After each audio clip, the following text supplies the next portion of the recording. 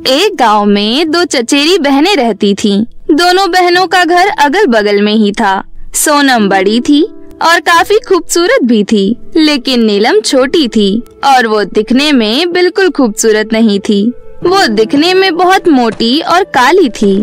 सभी लोग उसका खूब मज़ाक बनाते थे और बच्चे उसे काली भैंस कहकर चढ़ाते थे। एक दिन सोनम स्कूल जाने के लिए अपना बैग लेकर बाहर निकली। तभी नीलम ने उसे रोकते हुए कहा, सोनम, मेरी बहन, चलो, मैं भी तुम्हारे साथ स्कूल चलती हूँ। तू पागल हो गई है क्या? चल हट मेरे रास्ते से। तुझे पता भी है, तू दिखने में कितनी बेकार है। एक तो मोटी, ऊपर से काली। छी छी छी छी। और मैं इतनी खूबसूरत। अगर मैं तुझे अपने साथ स्कूल लेकर जाऊँगी तो कहीं तेरा असर मुझ पर पड़ने लगा तो? देख सोनम, ज़्यादा मत बोल। मेरी माँ कहती है, मैं दुनिया की सबसे खूबसूरत लड़की हूँ। मेरा दिल बहुत खूबसूरत है और लोग खूबसूरत दिल से होते हैं, ना कि चेहरे से। तेरी मम्मी तो कुछ भी बोलती है, वो तो ये भी कहती है कि तू चाँद है। इसका मतलब कि हम तुझे चाँद कह दें, ये तो चाँद की बेजती होगी। नीलम वहाँ से रोते हुए अकेले ही स्कूल चली गई। जब वो क्लास में पहुँची तो उसने देखा कि सभी बच्चे आपस में एक दूसरे को गुड मॉर्निंग विश कर रहे हैं। लेकिन नीलम को सबने इग्नोर कर दिया। थोड़ी देर बाद सोनम नीलम से कहती है देखा तूने नीलम? तेरी मम्मी कहती है ना कि तू बहुत खूबसूरत है बिल्कुल चाँद की तरह। क्लास में किसी बच्चे ने तेरे से बात तक नहीं की। नीलम उदास होकर क्लास में सबसे पीछे जाकर बैठ गई। उसके बाद काफ़ी दिनों तक रोज़ाना ऐसे ही चलता रहा। एक बार की बात है मोहल्ले में एक जगह बर्थडे पार्टी थी। उस बर्थडे पार्टी से सोनम के लिए बुलावा आया। सोनम बहुत अच्छे से तैयार होकर बर्थडे पार्टी में जाने लगी। नीलम भी उसे जाते हुए देख रही थी। सोनम, मुझे भी अपने साथ ले चलो। तुझे बुलाया है किसी ने? नहीं, लेकिन मैं तुम्हारी बहन हूँ ना तो मुझे ले चलो। तुझे खुद तो कोई बुलाता नहीं है, क्योंकि तेरे पास ना अच्छे कपड़े हैं और ना ही अच्छी सूरत। ऊपर से तेरा मोटा शरीर। सोनम नीलम का मज़ाक बनाकर वहाँ से चली गई। इसी तरह सोनम बर्थडे पार्टी और बच्चों के साथ खेलने में व्यस्त रहती थी। लेकिन नीलम के साथ कोई खेलता ही नहीं था तो वो अपना खाली समय पढ़ने में लगाती थी। इस वजह से नीलम पढ़ने में बहुत तेज थी। स्कूल में एग्ज़ाम हुए। एग्ज़ाम के बाद रिज़ल्ट का दिन आया। रिज़ल्ट वाले दिन क्लासरूम में सोनम ने नीलम से कहा तुझे पता है नीलम, आज तो क्लास में फ़र्स्ट मैं ही आऊँगी, क्योंकि सुंदर बच्चों को तो मैडम ज़्यादा नंबर देती है ना। नीलम, तुझे नहीं आना क्या फ़र्स्ट मुझे लगता है तू फ़र्स्ट आएगी, लेकिन ऊपर से नहीं, नीचे से। एक बार फिर सोनम ने नीलम का मज़ाक बनाया और हंसने लगी। सोनम की बातें सुनकर बाकी क्लास के बच्चे भी हंसने लगे। तभी मैडम क्लास में आई और उन्होंने रिज़ल्ट की घोषणा की। मैडम ने बताया कि क्लास में फ़र्स्ट नीलम आई है और सेकंड थर्ड दूसरे दूसरे बच्चे। सोनम की कोई पोजीशन नहीं आई थी। सोनम अपने क्लास में ही नहीं, पूरे स्कूल में फ़र्स्ट थी। ये सुनकर सबके होश उड़ गए। इन सब के बाद सोनम मन ही मन सोचती है, और जिस नीलम के बच्चे के कारण मेरी बहुत बेजती हुई है। मैं तो इसको बिल्कुल नहीं छोड़ने वाली। इसका कुछ न कुछ तो करना ही होगा। बच्चों के रिज़ल्ट की खबर पूरे गाँव में फैल गई और सभी लोग नीलम को बधाइयाँ देने लगे। ये देखकर सोनम को और भी ज़्यादा जलन हुई और उसने नीलम को सबक सिखाने का पूरा मन बना लिया। एक दिन सुबह सुबह नीलम अपने आँगन में एक पेड़ के नीचे बैठकर अकेले ही खेल रही थी। तभी वहाँ पर सोनम आई और बोली नीलम तुम तो पढ़ने में बहुत तेज हो। मुझे लगता है हमें दोस्ती कर लेनी चाहिए। अगर तुम मुझसे दोस्ती कर लोगी तो मैं ये भी मान लूँगी कि मैंने तुम्हारा जो मज़ाक बनाया था, तुमने मुझे उसके लिए माफ़ कर दिया। कोई बात नहीं, अगर तुम ऐसा चाहती हो तो अब से हम दोस्त हुए। ठीक है, चलो, फिर पास वाले जंगल में खेलने चलते हैं। नहीं बाबा, मम्मी कहती है उस जंगल में नहीं जाना। वो बहुत ही ज़्यादा खतरनाक जंगल है। अरे पागल, ऐसा कुछ भी नहीं है। मैं वहाँ रोज जाती हूँ।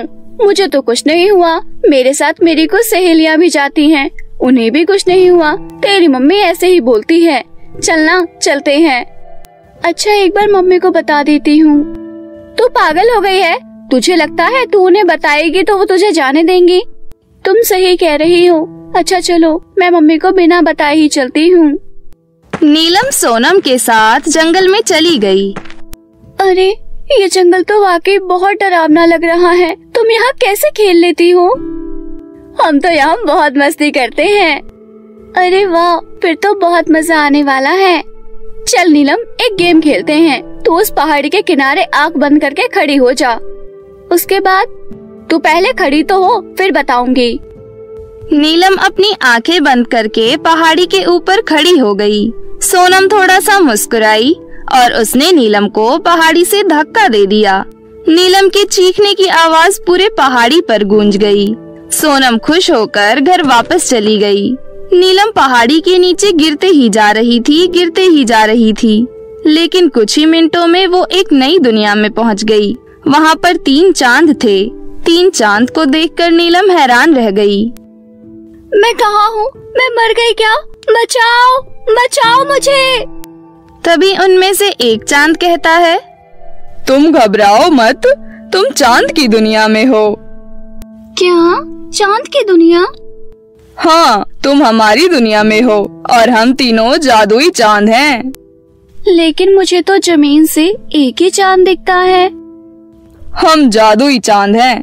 तुम जो भी मांगना चाहो हमसे मांग सकती हो मैं बहुत काली हूँ और मोटी भी इस वजह से सभी बच्चे मेरा बहुत मज़ाक बनाते हैं।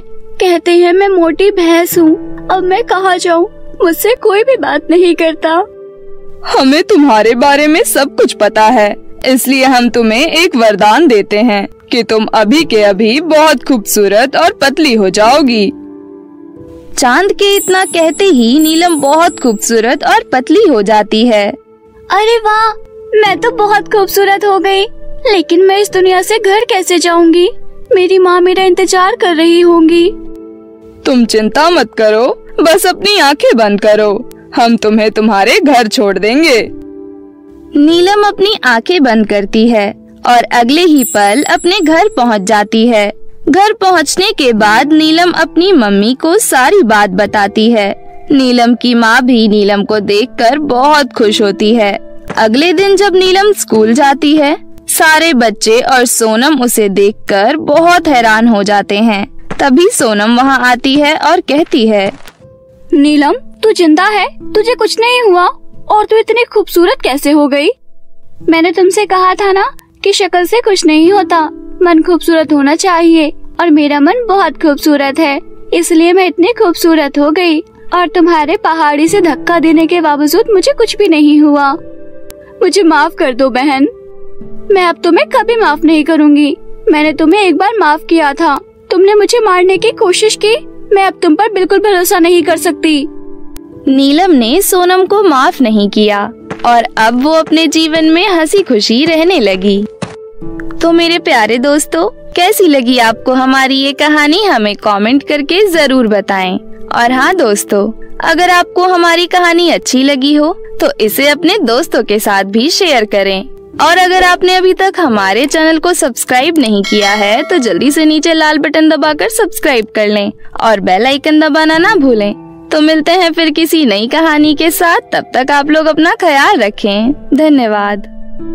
जादुई गुलाब का घर। एक शहर में छोटी सी बस्ती में रोशनी अपनी माँ जमुना के साथ एक किराए के मकान में रहती थी।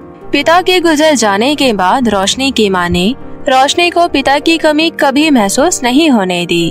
घर की सारी ज़िम्मेदारी जमुना ने बखूबी निभाई। रोशनी की पढ़ाई और घर का खर्चा चलाने के लिए जमुना गली गली जाकर सब्ज़ियाँ बेचा करती थी। सब्ज़ियाँ बेचकर जो पैसे मिलते, उन्हीं से उनका घर का गुजारा चल पाता था।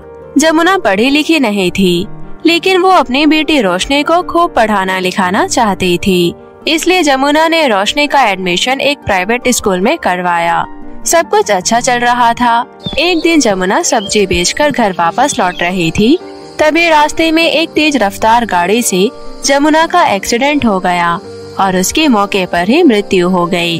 अब रोशनी पूरी तरह से अकेले हो गई। ऐसे ही धीरे धीरे दिन बीत रहे थे घर में जो थोड़ी बहुत जमा पूंजी बची थी, वो भी धीरे धीरे खत्म हो गई।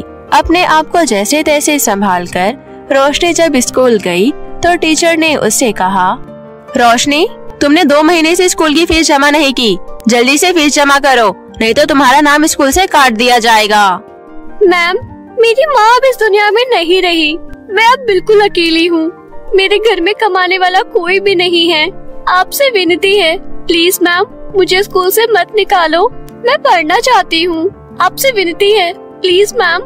अगर ऐसी बात है तो एक काम करो।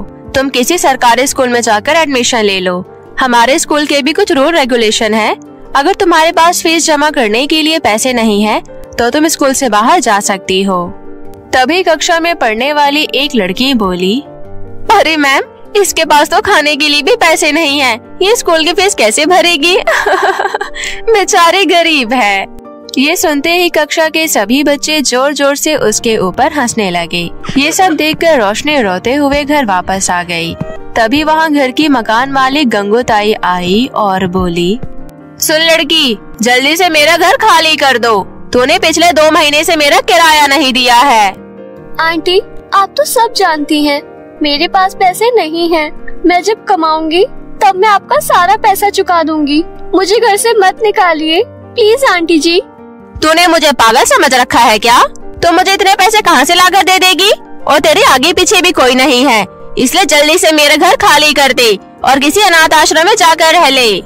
गंगोताई ने रोशनी की एक ना सुनी और उसे घर से निकाल दिया।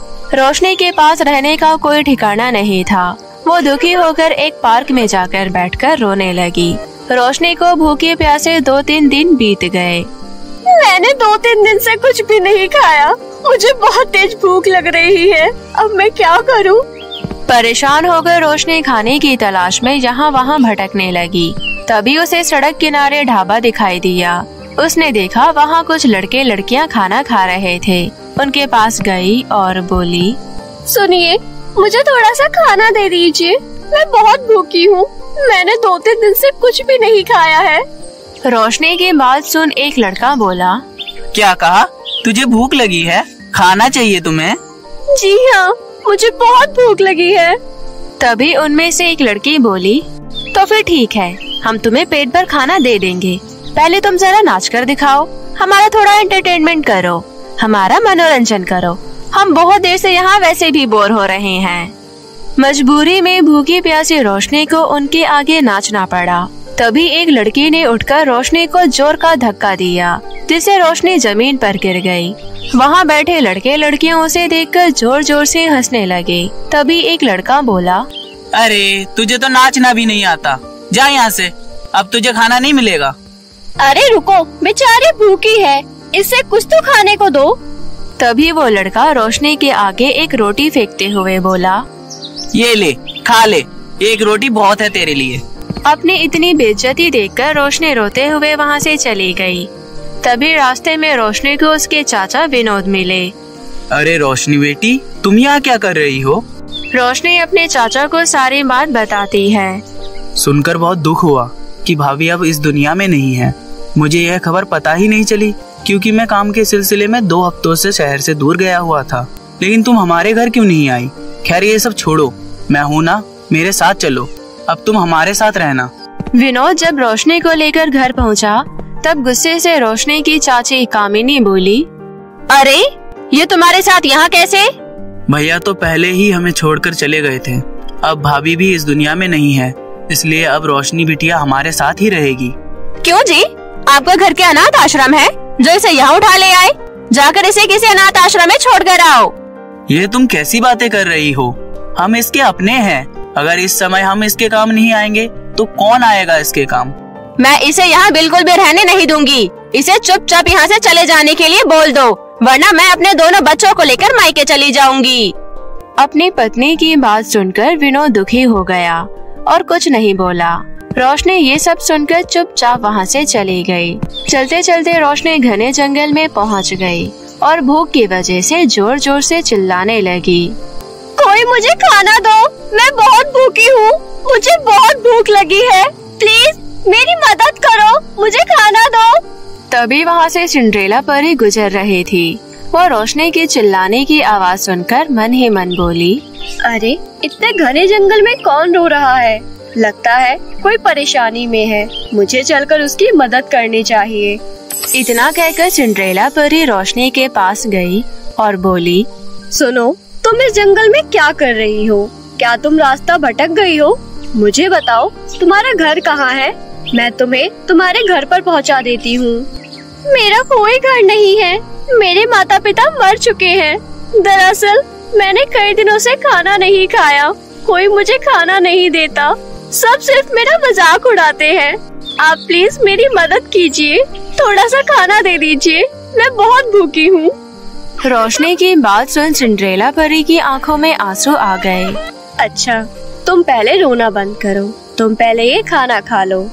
इतना कहकर सिंड्रेला परी अपनी जादुई छड़ी से तरह तरह के व्यंजन प्रकट करती है। फिर रोशनी ने पेट भरकर खाना खाया। खाना खाकर रोशनी ने परी का धन्यवाद करते हुए कहा तुम्हारा धन्यवाद परी। मैं जहाँ भी गई मदद मांगने सबने मुझे डांट कर वहाँ से भगा दिया। किसी ने भी मेरी मदद नहीं की। तुम चिंता मत करो मैं तुम्हारी मदद करूँगी।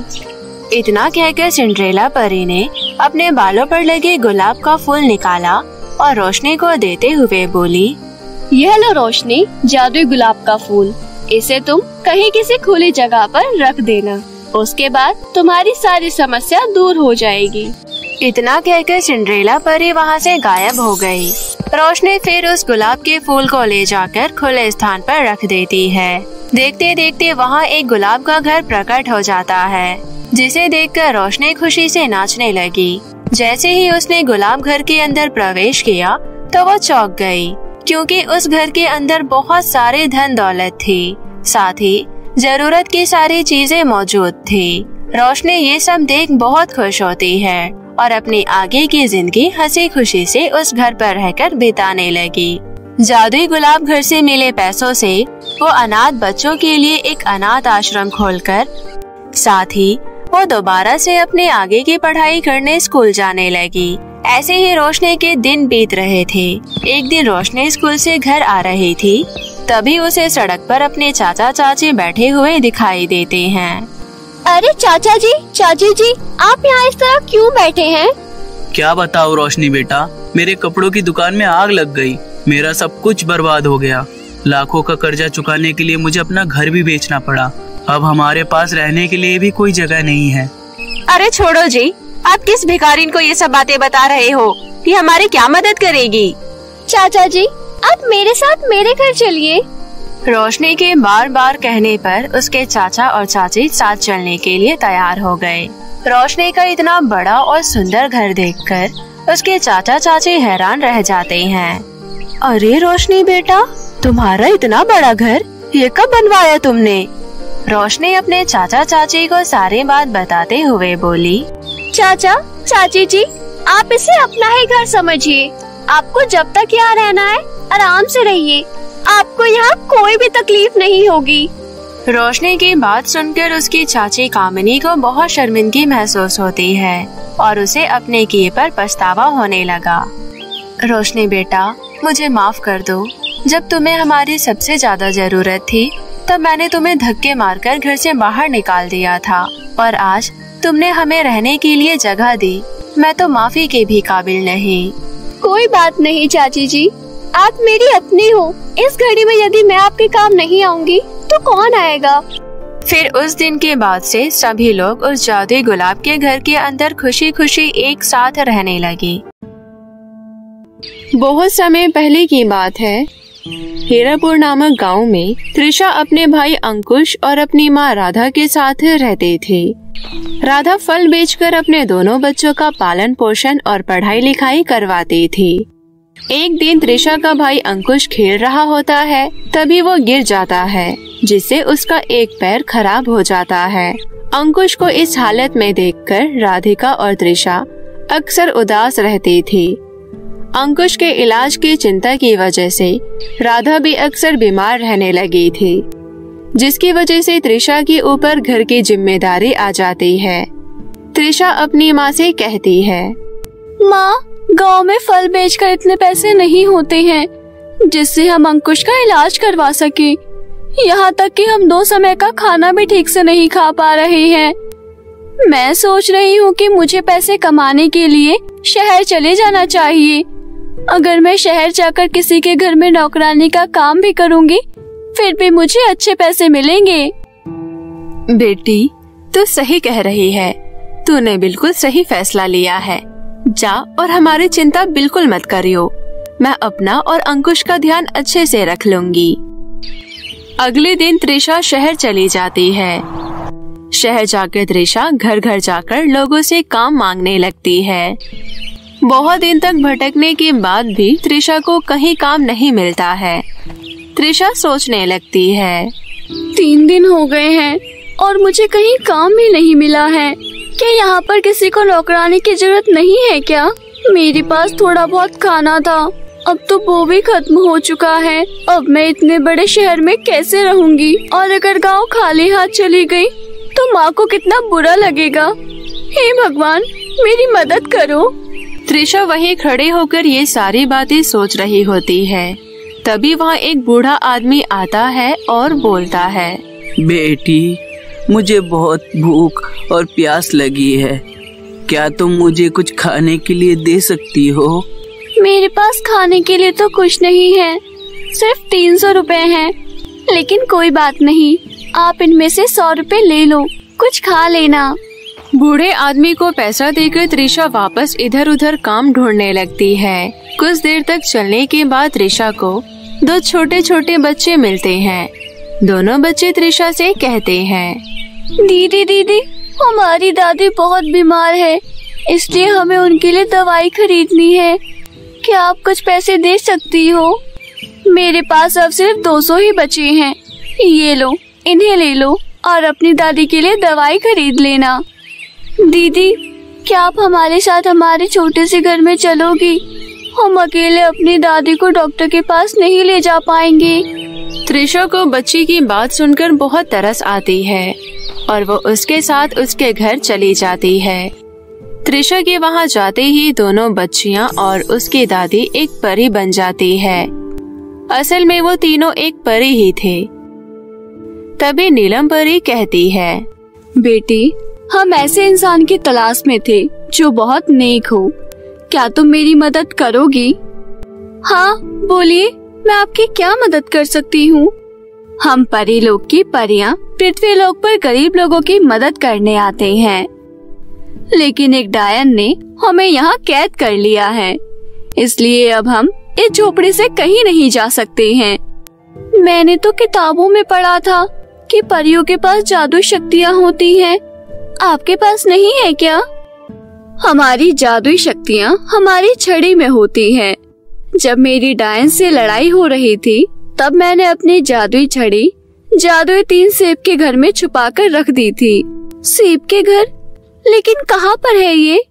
यहाँ थोड़ी दूर पर एक घना जंगल है। वहीं पर है तीन सेब के घर। मैं अभी यहाँ से नहीं जा सकती हूँ। इसलिए, क्या तुम मेरी जादुई छड़ी वहाँ से ला सकती हो? लेकिन मैं जादुई सेब के घर के अंदर जाऊँगी कैसे?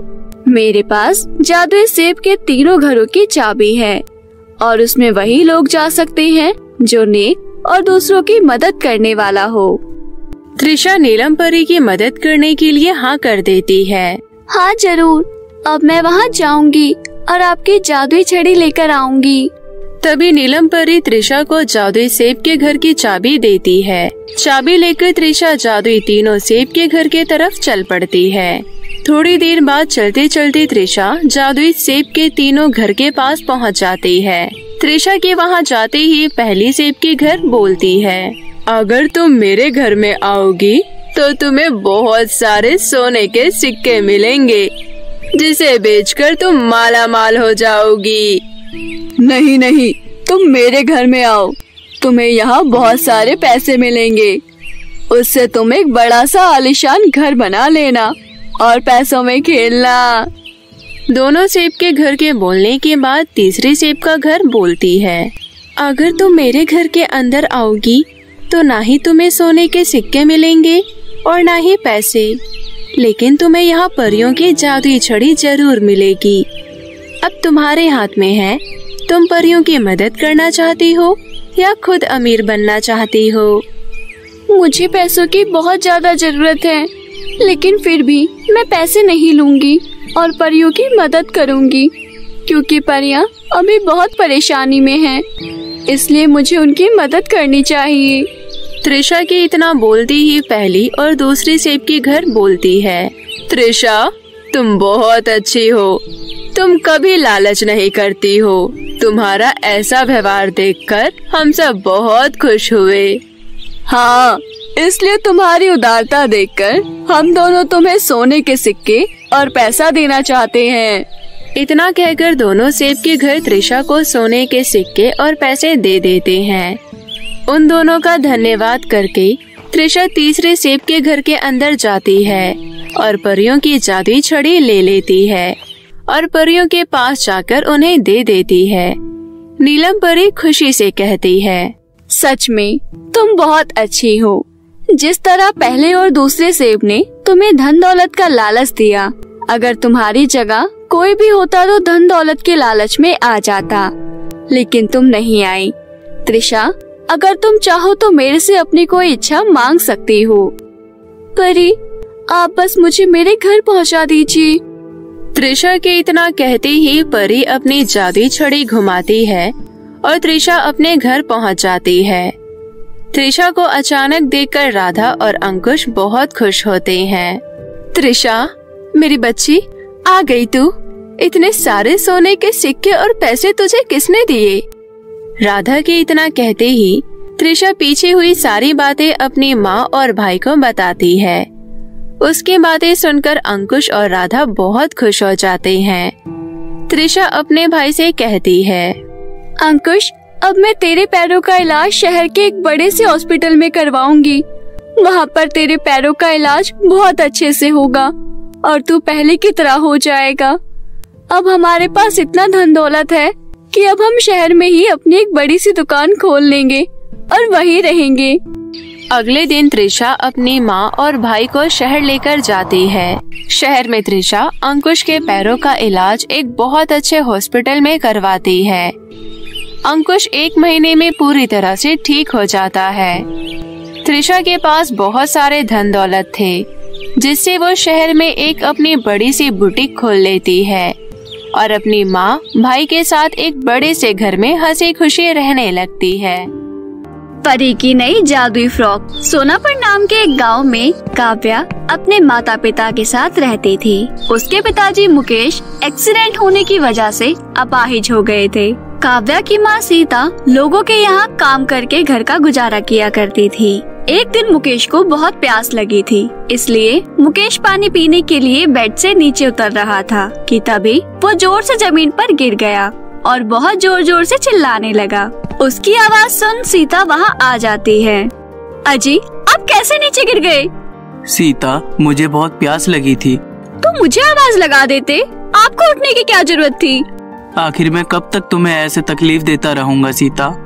उसके बाद सीता मुकेश को उठाकर बेड पर बैठाती है। सीता की नज़र उसके सर पर लगे चोट पर पड़ती है। आगे से आपको कुछ भी चाहिए होगा तो आप मुझे आवाज़ लगाएँगे। अगर मैं काम पर रहूँगी तो आप काव्या से कह दीजिएगा, लेकिन आप खुद नहीं उठेंगे। और अपना काम करने चली जाती है।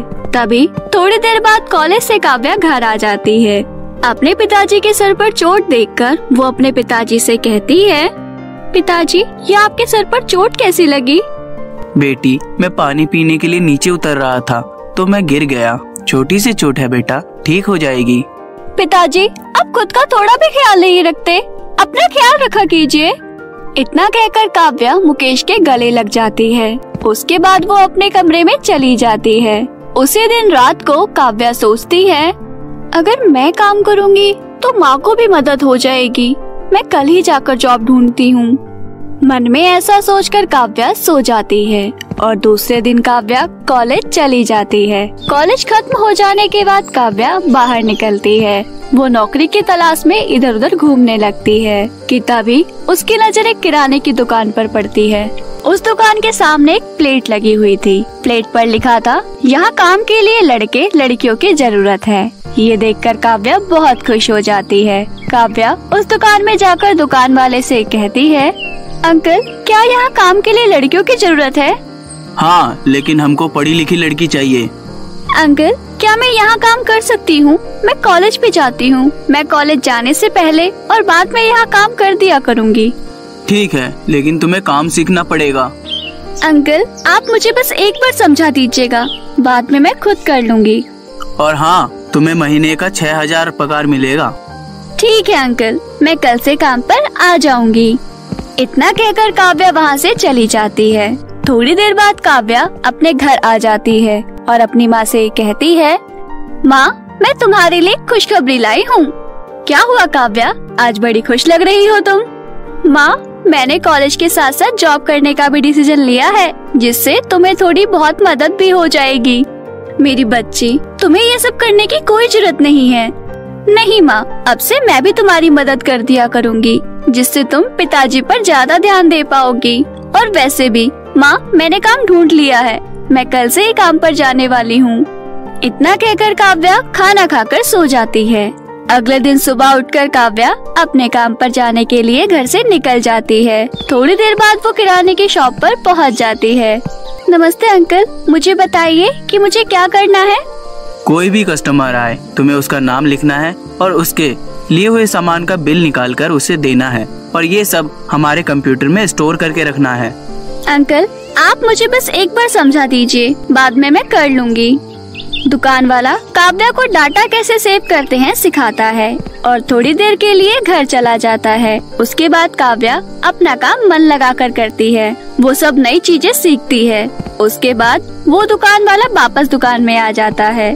फिर दोपहर के समय काव्या कॉलेज जाने के लिए निकलती है। तभी दुकान वाला काव्या से कहता है आने में ज़्यादा देर मत करना नहीं तो काम से निकाली जाओगी।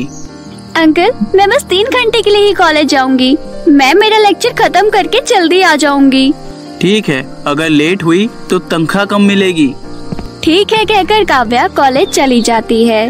कॉलेज में जाकर काव्या अपने क्लासेस अटेंड करती है और फिर से दुकान में काम करने आ जाती है। उसका आज का दिन तो बहुत अच्छा गया था। उसके बाद वो शाम को घर आ जाती है। तभी सीता काव्या से कहती है आगे बेटी तुम आज का पहला दिन कैसा रहा? माँ आज का पहला दिन बहुत अच्छा रहा। मैं बहुत थक गई हूँ, खाना खाकर सो जाती हूँ। उसके बाद काव्या खाना खाकर सो जाती है। अब हर रोज काव्या समय पर काम पर जाया करती थी। उसके काम के प्रति लगन देख और सीखने की चाह देख दुकान वाला खुश था। एक दिन दुकान में दोपहर के समय चोरी हो जाती है। उस समय काव्या दुकान पर नहीं होती, क्योंकि वो कॉलेज से आने में आज जरा लेट हो गई थी। दुकान वाला काव्या से कहता है मैंने तुम्हें कहा था ना कि मैं वक्त का बहुत पाबंद हूँ। आज अगर तुम दुकान पर होती तो दुकान में चोरी नहीं होती। इस समय मेरी दुकान कभी बंद नहीं होती है, और आज बंद थी। इसी वजह से चोरों ने चोरी कर ली। मेरी वजह से चोरी हुई है? आप मुझे ऐसा नहीं कह सकते, क्योंकि मुझे तो इस बारे में कुछ पता ही नहीं था। मेरी बस इतनी सी गलती थी कि मैं आज आने में लेट हो गई, क्योंकि मुझे आज रिक्शा नहीं मिल रहा था। तुम आज एक घंटा लेट आई हो और ऊपर से ज़ुबान लड़ा रही हो। तुम जैसी गरीब लड़की को दुकान पर रखना ही मेरी गलती है। तुम कल से काम पर मत आना। मुझे ऐसे लोगों की कोई ज़रूरत नहीं है। ऐसा कहकर दुकान वाला काव्या को वहाँ से चले जाने के लिए कहता है। काव्या वहाँ से घर की तरफ़ आने लगती है। अब क्या किया जाए, उसे कुछ समझ ही नहीं आ रहा था। वो सड़क किनारे बैठकर रोने लगती है। तुम्हें तो मेरी परिस्थिति पता है ना, भगवान? लेकिन मेरी मदद कोई नहीं करता। इतने मुश्किल से मुझे जॉब मिली थी। अब मैं अपने घर में क्या बोलूँगी? ऐसा सोचते सोचते काव्या बहुत रोने लगती है। तभी उसके सामने एक परी प्रकट होती है। काव्या, आप कौन? मैं परी हूँ। मुझे तुम्हारी परेशानियों के बारे में सब कुछ पता है। मैं तुम्हें एक नई जादुई फ्रॉक देती हूँ। तुम उस जादुई फ्रॉक से जो भी मांगोगे, तुम्हें वो मिल जाएगा।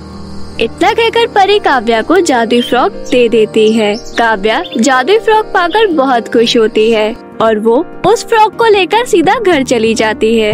काव्या फ्रॉक पहनकर देखती है। अरे वाह, ये फ्रॉक तो जादुई होने के साथ साथ दिखने में भी बहुत सुंदर है।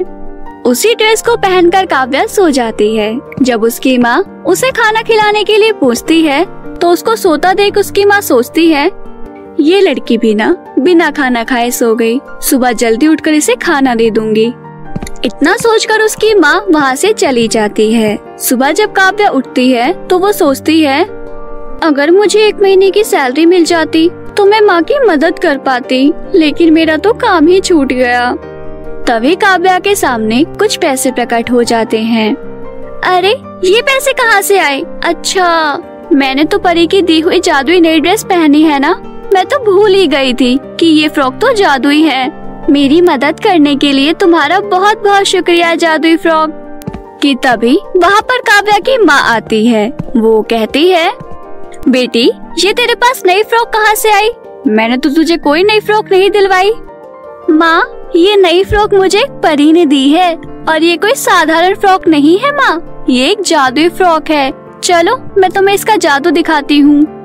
इतना कहकर काव्या अपने पिता के पास जाती है और कहती है, हे जादुई फ्रॉक, मेरे पिता के पैरों को ठीक कर दो। काव्या के इतना कहते ही उसके पिता की टांगे ठीक हो जाती हैं। ये देखकर पूरा परिवार खुश होता है। अब काव्या परी की दी हुई जादुई नई फ्रॉक की वजह से अपनी सारी परेशानियाँ दूर कर लेती है और अपने परिवार के साथ एक अच्छा जीवन व्यतीत करने लगती है।